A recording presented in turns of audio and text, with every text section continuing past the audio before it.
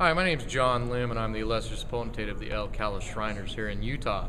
I'd like to cordially invite you to the installation, public installation of officers, which is going to be on January 19th at 7:30 in the large, large auditorium. The cool thing about this event is that it's an open ceremony, and it's one of the few things that we do that anyone that isn't a Mason is able to attend, and we encourage you to do so. Once again, that is January 19th at 7:30 in the large banquet room. Hope to see you there.